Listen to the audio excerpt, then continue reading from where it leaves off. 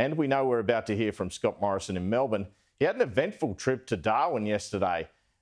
Accused of filming a local campaign video with his candidate for Solomon and missing a defence ceremony commemorating the sinking of USS Peary 80 years ago. Anthony Albanese commented on this.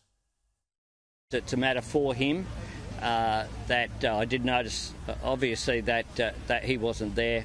It was a very good service, can I say that? And it was an honour for me to attend. As for the Prime Minister's itinerary, that's a matter for him. The PM was at a ceremony to commemorate the 80th anniversary of the bombing of Darwin, and this appears to be an open and shut case, so to speak, of how not to weld.